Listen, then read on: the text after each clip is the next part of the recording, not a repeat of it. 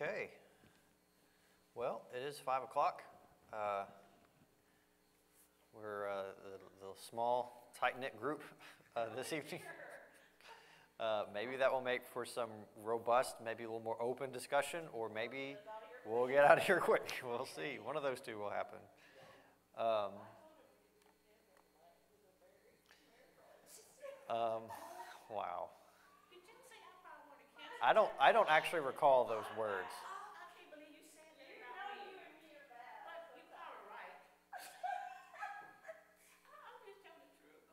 I know, I know. Um, but we're here, and it is after five. Um, I don't know of any prayer requests aside from what was mentioned this morning to pray for, other than I know Debbie was supposed to come home this afternoon. Uh, does anyone have any like word of confirmation that that did in fact happen? I mean, I'm assuming it did, uh, and we'll probably be uh, getting an update on the church uh, prayer page soon, so we want to be keeping them in prayer. But uh, let's go ahead and pray, and then we'll sing a bit and get into um, our discussion for this evening. Thank you, Father, for bringing us together this evening. We want to ask your blessings on this time of uh, worship, this time of study, this time of discussion. Uh, we pray you're glorified in it and pray you'll go with us through the remainder of this week. Uh, we thank you that Sister Debbie is uh, home as far as we know. Uh, bless her and Ernie as they transition back. Uh, watch over them. In Jesus' name, amen. All right. In keeping with humility, I was talking this morning some about at the heart of humility is having a, a real grasp of our relationship with God, understanding ourselves in relationship. So I thought a few songs that just turn our eyes upon Him in praise would be appropriate. So first we'll sing, Lord, we come before Thee now. Lord, we come before Thee now. At Thy feet we humbly bow. Oh, do not our suit disdain.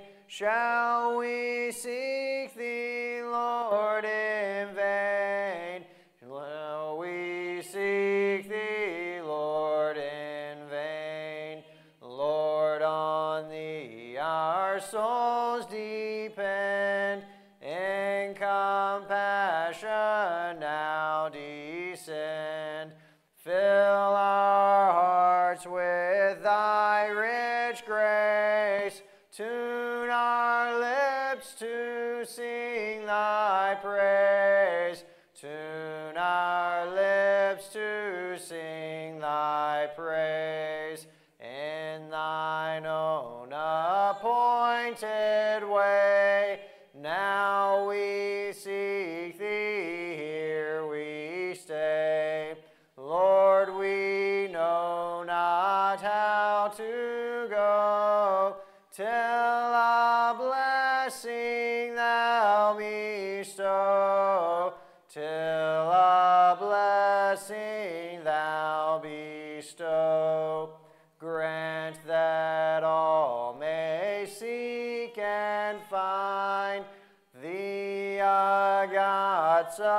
Supremely kind. The sick, the captive free, let us all rejoice in thee. Let us all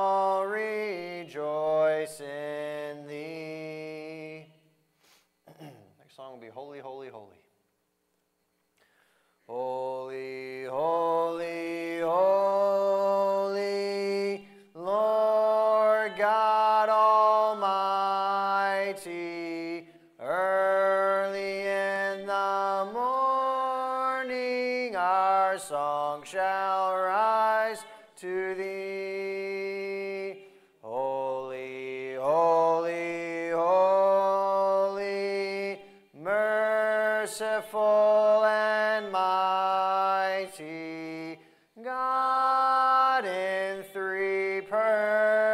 persons, blessed Trinity.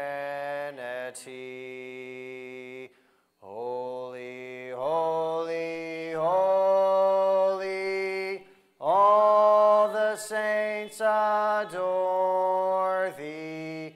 casting down their golden crowns around the crystal sea.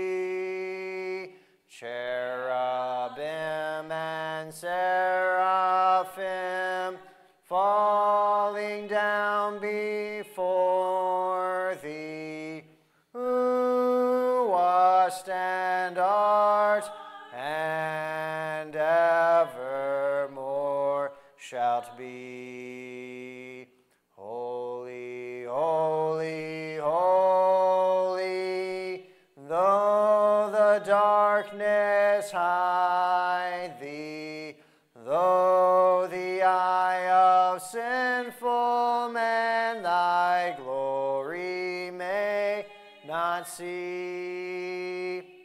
Only thou art holy, there is none beside thee, perfect in power, and love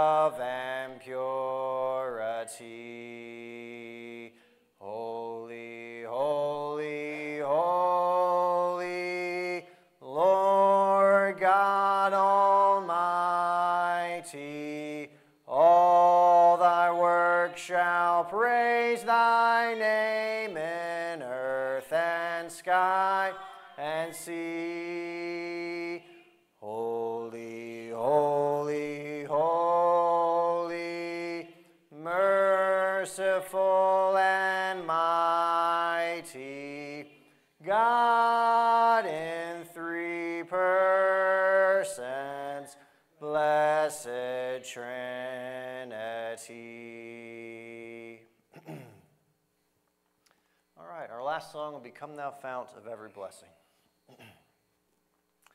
Come, thou fount of every blessing, to my heart to sing thy grace. Streams of mercy never ceasing, call for songs of loudest praise.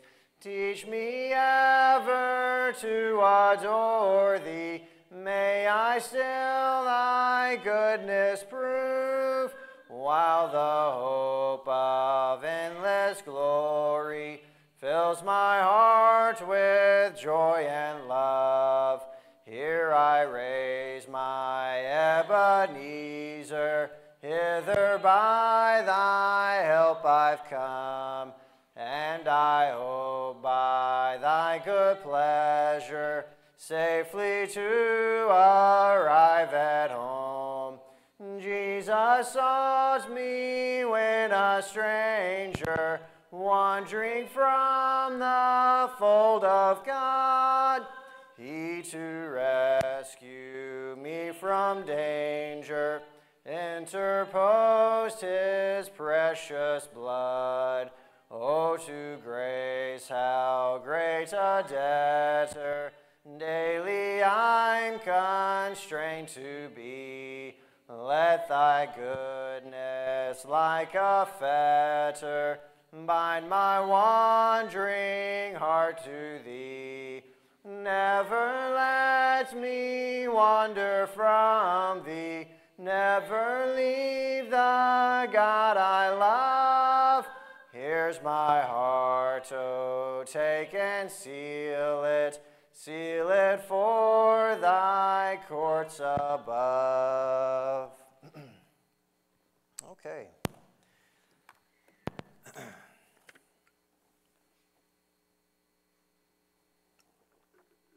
so we draw, drew our series on 1 Peter to a close today uh, in 1 Peter chapter 5, thinking about uh, what Peter writes about humility. And I'd like us to do uh, a couple things related to this. And actually, what I first wanted to do uh, is something I haven't done in a long time. That's actually, I want to recommend a book uh, to all of you. So, this is a little book called simply Humility uh, by a man named Gavin Ortlund. Uh, Gavin Ortlund is a Baptist uh, pastor. He's also quite the academic, but this is not an academically oriented book. Um, simple little book on the topic of humility. and I read it not too long ago and found it a great encouragement. I felt like there was a lot of just great material here, great things to think about, very just refreshing to read. It was just like a breath of fresh air to read this little book. And it's very short, it's um, not even 100 pages. Uh, and, and, some of what I said this morning, I, I drew inspiration from this book for some of it. So I'm going to leave it up here and want to encourage you to maybe take a look at it. If you would like to, to just take it, you're welcome to my copy. It'd be great if I got it back one day, but if I didn't, it's okay. I'll be humble about it. Um, but you're welcome to my copy, or you're welcome to, uh, to, to just look it up for yourself, and you can probably purchase it for cheap. So, uh, great little book that I'd, I'd like to recommend. Um, something that we talked about this morning was distinguishing what humility is from what it isn't. And so there's some behavior that can look like humility, but it's not really. I uh, hope that was helpful to think about. Uh, but also, we began by trying to not so much define humility, but just put our minds in a humble space, thinking to times where we have felt humble in, I think, the most biblical sense, where we weren't really thinking about ourselves at all. It's not that we had an especially low view of ourselves. It's not that we were being really hard on ourselves, but we were just so caught up in whatever we were seeing or doing or experiencing that we were not really thinking about ourselves. Uh, we were just in the present moment with whatever it was that was going on. And I mentioned just some examples to try to stir some, some thought. Maybe it's something powerful in nature you saw, or uh, a book you were reading, or time with some close friends that was really meaningful. Um, but I thought it might be worthwhile to just share some, some of those moments. Um, does anyone have a moment that maybe came into your mind this morning, or maybe that's come into your mind since then, uh, that fits that description that maybe you'd like to share with the rest of us?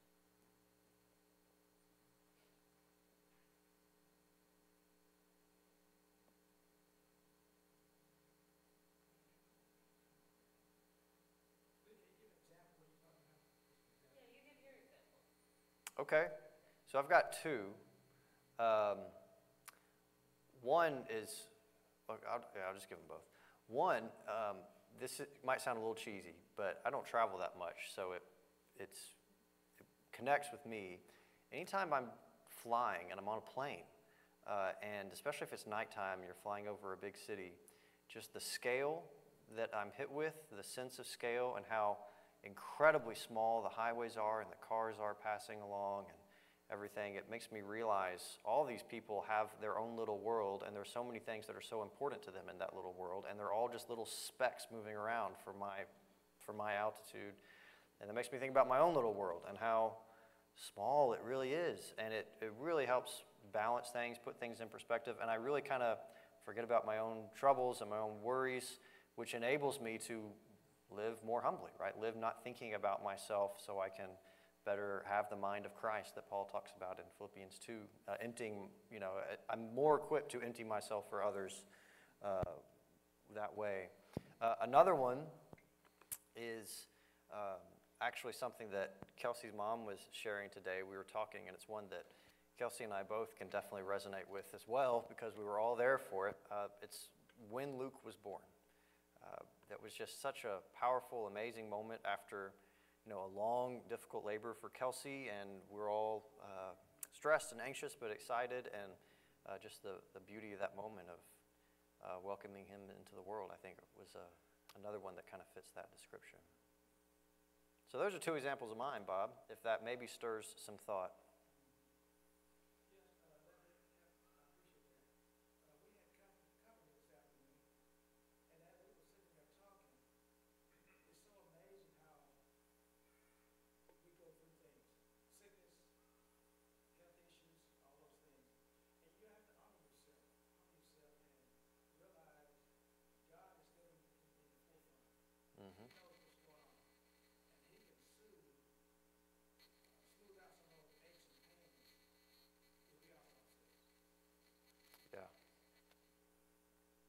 absolutely. So, so yeah, I mean, difficult things that we're going through or that we're along, journeying along with someone who's going through a hard thing, those things can certainly humble us. Anyone else?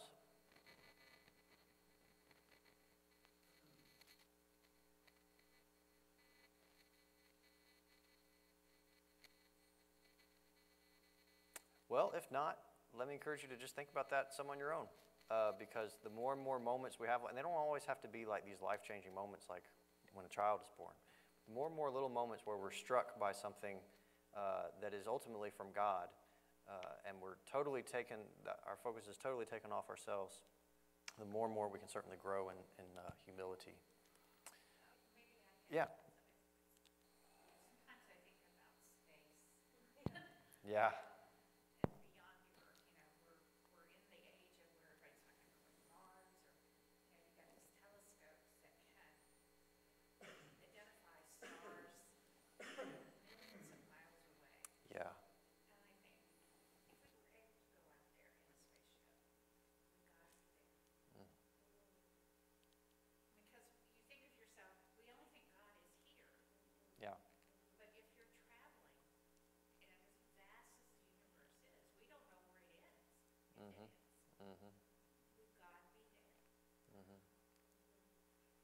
Passage we're going to read in a little bit um, is, is, basically a poetic way of saying yes, that he would be there, which is so powerful to think about.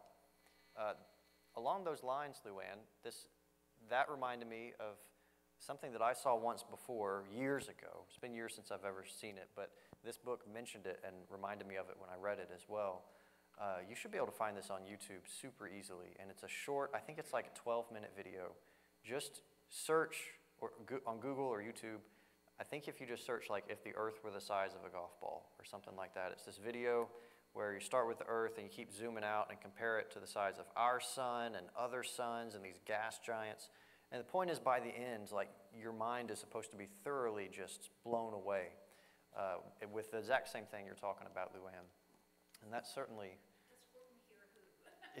yeah, yeah, it is that. It's like we're, we're living on the little leaf, you know, uh, the little bubble on the leaf. Um, it truly is a humbling thing to see. And humbling in the best way. I don't mean in the way that we're filled with shame, but we're filled with awe at, at how incredible this universe is, and therefore how incredible God is, which really is a, a um, refreshing form of, refreshing dose of humility. All right. Well, again, humility is something that we can do uh, well, it's something that we cannot do while we're focusing on ourselves, uh, in a sense, which is why I uh, was trying to direct us this morning to think of moments where we're not thinking about ourselves at all. Uh, humility is one of those things where you can only grow so much if you're walking through the day telling yourself, like, be more humble, be more, because the more you're doing that, the, the more the focus is on you, which means it's not outward, which uh, makes it rather hard. Uh, so, it's a lot easier when our focus just shifts entirely um, onto something else. And of course, there's no greater place to turn our eyes, and we're all called to turn our eyes upon God. Uh, Chris just led us this morning and turn your eyes upon Jesus, and that's, that's really what it's all about. Uh, so, what I wanted us to do for the remainder of our time is uh, I selected a, a few passages, three, that really, if we really dwell on these words, they will, I think, direct our minds towards God and towards various aspects of who He is, what He has done, his character, his kindness towards us.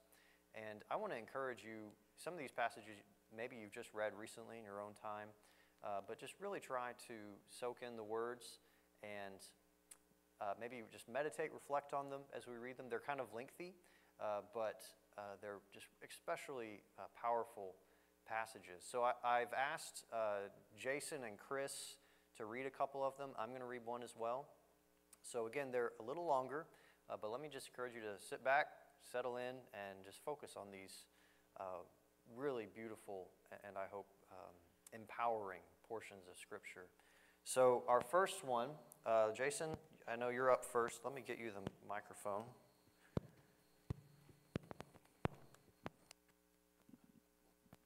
Our first one is Psalm 103.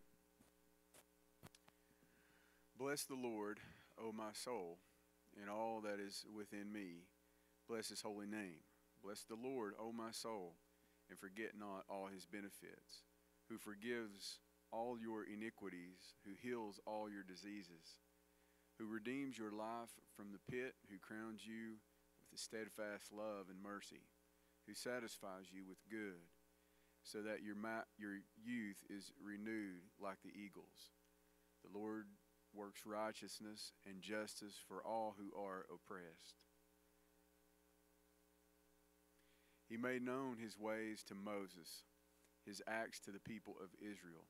The Lord is merciful and gracious, slow to anger, and abounding in steadfast love. He will not always chide, nor will he keep his anger forever. He does not deal with us according to our sins, nor repay us according to our iniquities. For as high as the heavens are above the earth, so great is the steadfast love towards those who fear him. As far as the east is from the west, and so far does he remove our transgressions from us. As a father shows compassion to his children, so the Lord shows compassion to those who fear him. For he knows our frame, he remembers that we are dust. As for man, his days are like grass. He flourishes like the flowers of the field. For the wind passes over it, and it is gone, and its place knows it no more. But the steadfast love of the Lord is from everlasting to everlasting on those who fear him, and his righteousness to his children's children, to those who keep his covenant and remember to do his commandments. The Lord has established this throne in the heavens, and his kingdom rules over us. Bless the Lord, O you his angels, you mighty ones who do his word, obeying the voice of his word. Bless the Lord, all his hosts, his ministers who do his will. Bless the Lord, all his works in all places of his dominion. Bless the Lord, O my soul.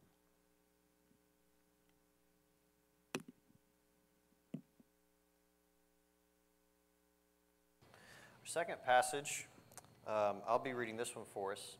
This is from the book of Revelation. Uh, this is, I think, one of the most beautiful portions in all of Scripture. Revelation can really intimidate us uh, and confuse us, I know. Uh, and sometimes we can get especially hung up on a lot of the symbolism, wondering, all right, what does this specific image mean? What does it correspond to? How do I properly interpret it? Uh, th- there's a time and place for all that. I just want to encourage you right now, don't try to do any of that in what we read. Don't try to don't get hung up on what specific things mean. Try to let the whole force of this beautiful, powerful description of uh, the throne room of heaven, uh, let it just um, just try to focus on that instead. So this is Revelation chapters 4 and 5. After this I looked, and behold, a door standing open in heaven. And the first voice, which I had heard speaking to me like a trumpet, said, Come up here, and I will show you what must take place after this. At once I was in the Spirit, and behold, a throne stood in heaven, with one seated on the throne. And he who sat there had the, appearance, had the appearance of jasper and carnelian, and around the throne was a rainbow that had the appearance of an emerald. Around the throne were 24 thrones, and seated on the thrones were 24 elders, clothed in white garments, with golden crowns on their heads. From the throne came flashes of lightning and rumblings and peals of thunder, and before the throne were burning seven torches of fire, which are the seven spirits of God. And before the throne there was, as it were, a sea of glass like crystal. And around the throne, on each side of the throne, are four living creatures, full of eyes in front and behind. The first living creature like a lion, the second living creature like an ox the third living creature with the face of a man, and the fourth living creature like an eagle in flight. And the four living creatures, each of them with uh, six wings, are full of eyes all around and within, and day and night they never cease to say, Holy, holy, holy is the Lord God Almighty, who was and is and is to come. And whenever the living creatures give glory and honor and thanks to him who is seated on the throne, who lives forever and ever, the 24 elders fall down before him who is seated on the throne and worship him who lives forever and ever. They cast their crowns before the throne, saying, Worthy are you, O Lord our God, to receive glory and honor and power, for you created all things, and by your will they existed and were created. Then I saw in the right hand of him who was seated on the throne a scroll written within and on the back, sealed with seven seals. And I saw a mighty angel proclaiming with a loud voice, who is worthy to open the scroll and break its seals? And no one in heaven or on earth or under the earth was able to open the scroll or to look into it. And I began to weep loudly because no one was found worthy to open the scroll or to look into it. And one of the elders said to me, Weep no more.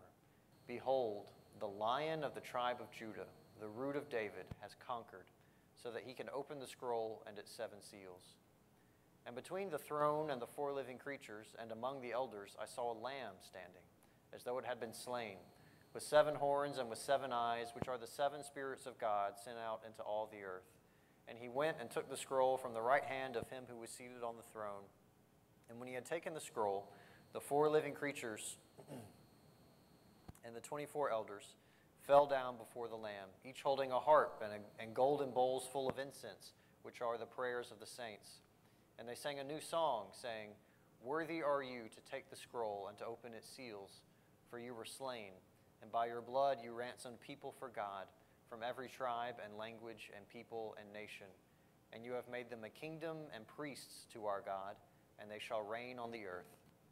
Then I looked, and behold, then, I looked, and I heard around the throne and the living creatures and the elders the voice of many angels, numbering myriads of myriads and thousands of thousands, saying with a loud voice, Worthy is the Lamb who was slain, to receive power and wealth and wisdom and might and honor and glory and blessing. And I heard every creature in heaven and on earth and under the earth uh, and in the sea and all that is in them, saying, To him who sits on the throne and to the Lamb be blessing and honor and glory and might forever and ever. I love those two chapters, especially uh, in the context of thinking about humility, think about what it would be like to be part of this. Um, and there's a sense in which we are called to be part of it. Uh, John hears every creature in heaven and on earth and under the earth. That should include us. Uh, we should live lives in such a way that we're constantly declaring the things that are declared uh, in these chapters. And uh, it's our great hope and expectation to do that in God's presence forever when Jesus returns. Our last passage is uh, from Psalm 139. Uh, Chris is going to read this uh, in just a moment. Uh, Psalm 139 is an extremely powerful passage that, on the one hand, might not seem to fit with humility because it's actually all about us, uh, but it's all about actually how much God deeply loves and cares for us. And the more, more we internalize that, uh, the more and more we can truly walk in humility. So, Chris is going to read this. There are a few verses, just for transparency's sake, we're going to skip over in this psalm uh, because there's a section in here that is important and in a different context would be totally worth our study. It's about um, God and his enemies, and, and the writer of the psalm is saying some things about God's enemies, but it doesn't really fit our purposes for tonight. So we're going to skip those verses. And otherwise, we're going to read this. Uh, this is Psalm 139. Uh, Chris is going to read this, and after that, we'll be uh, dismissed with a word of prayer.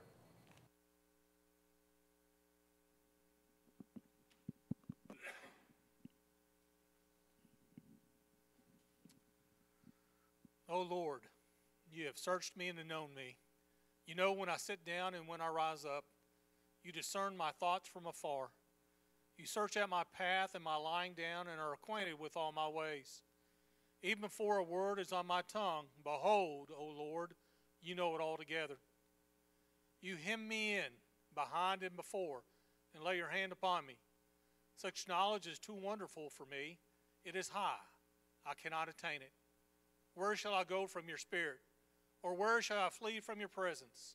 If I ascend to heaven, you are there. If I make my bed in Sheol, you are there. If I take the wings of the morning and dwell in the uttermost parts of the sea, even there your hand shall lead me, and your right hand shall hold me. If I say, Surely the darkness shall cover me, and the light shall and the light about me be night, even the darkness is not dark to you. The night is bright as the day for darkness is as light with you. For you inform you form my inward parts. You knitted me together in my mother's womb. I praise you, for I am fearfully and wonderfully made. Wonderful are all your works. My soul knows it very well. My frame was not hidden from you when I was being made in secret, intricately woven in the depths of the earth. Your eyes saw my unformed sub- substance. In your book were written, every one of them, the days that were formed for me yet when as yet there was none of them. How precious to me are your thoughts, O God! How vast is the sum of them! if, if I would count them, they are more than the sand. I awake, and I'm still with you. Search me, O God, and know my heart. Try me and know my thoughts, and see if there be any grievous way in me, and lead me in the way everlasting.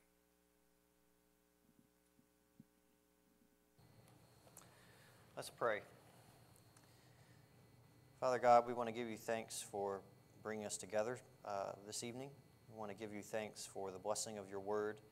Uh, we want to give you thanks that you are truly our creator and redeemer, uh, and that you are truly worthy of all praise and glory. Uh, we want to pray that you'll bless us through this week. Help us to learn more fully how to walk in uh, humility.